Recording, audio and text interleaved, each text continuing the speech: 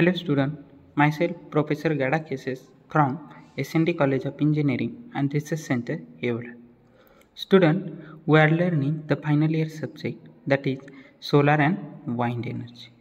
From that subject, up to the last lecture, we have seen so many topics from unit number 1 to unit number 4 and in the last lecture also we have seen from unit number 4 case study related to the solar energy application so in the last lecture also we have seen one case study related to the solar cooker.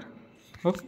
So related to that we have seen the box type solar cooker. Design and estimation of the time period required to cook the food with the box type solar cooker.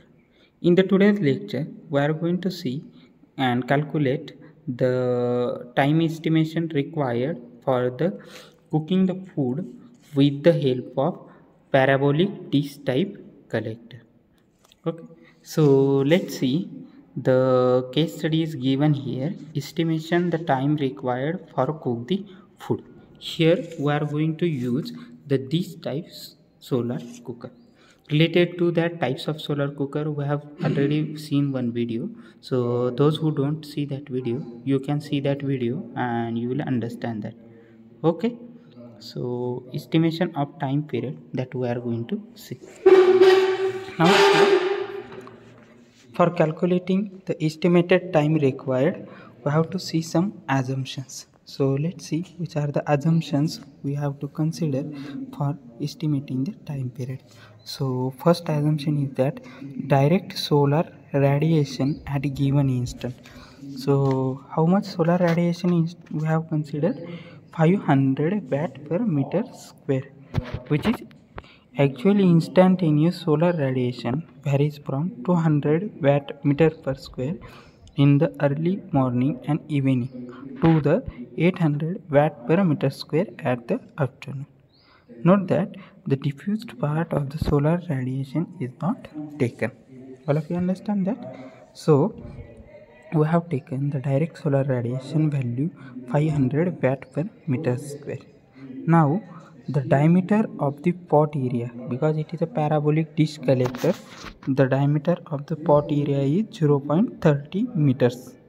Okay. Then diameter of collector aperture we have taken 1.5 meters.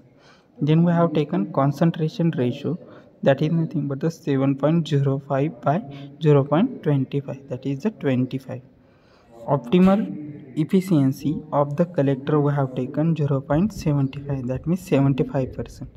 That efficiency is totally depends on the reflector materials. Could be high as a 90 percent.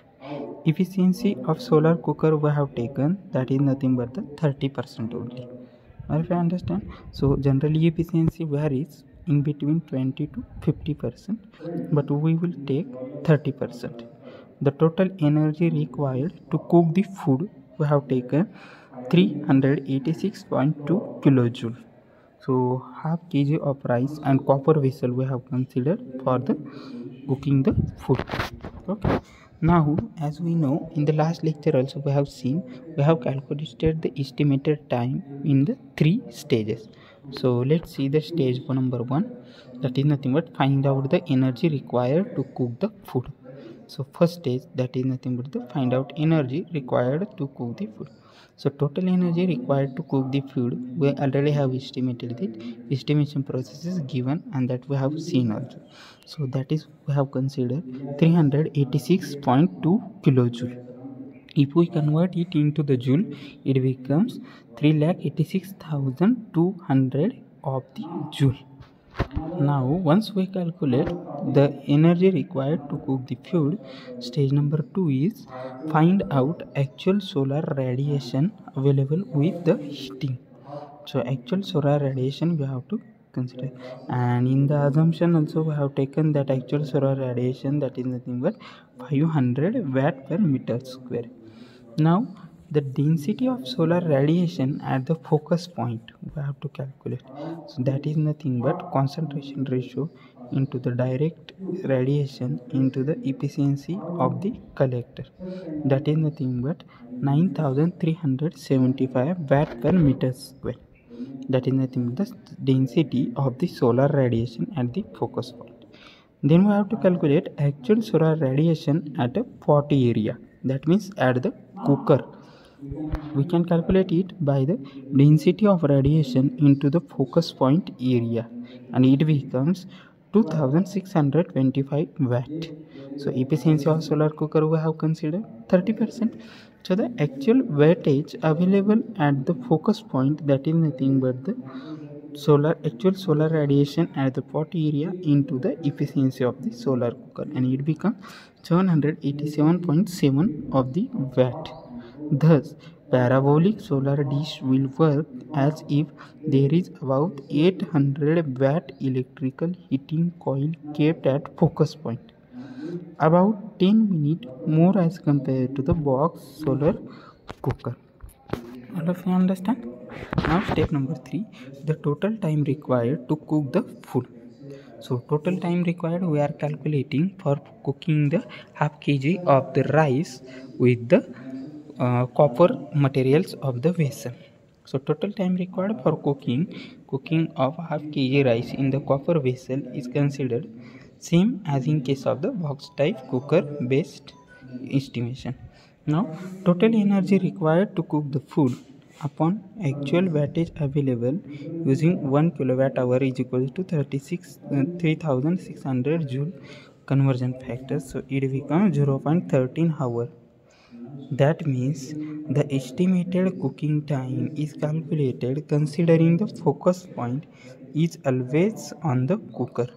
But due to the motion of the sun focus point shift to every second in order to use the dish type cooker effectively frequently adjustment that means after some times. And that time we are considering 15 minutes. After every 15 minutes you have to shift the focus points of the cooker. When cooking utensil is kept at the focus. It can be heated to around 300 to 400 degrees celsius equals to the burner temperature in case of the gas cooking. Hence boiling roasting and frying are the feasible. So simple payback period is given here. So what is the simple payback period? Payback period analysis similar to what is given for the box type solar cooker can be done in this case also. Concentrating dish type solar cooker with the 1.5 meters aperture diameter are available at the cost of about the 600 5000 a dish type solar cooker of a given dimension can cook food for 5 to 6 people almost 60 to 70 percent of the cooking requirement daily. This leads to seeing about 8 to 10 LPG cylinder per year. Thus, in case the payback period based on the simple calculation will be about 2 years. So like that we have calculated the time required to calculate or to cook the food of half kg of the rice with the copper materials of the cookers that is nothing but the 0.13 hours all of you understand that? So like that that case study we have seen time estimation for the parabolic dish type of the solar cookers. All of you understand that? So i think all of you have understand that. Um, today we will stop here for the today's lecture. Next point we will continue in the next lecture. Thank you friends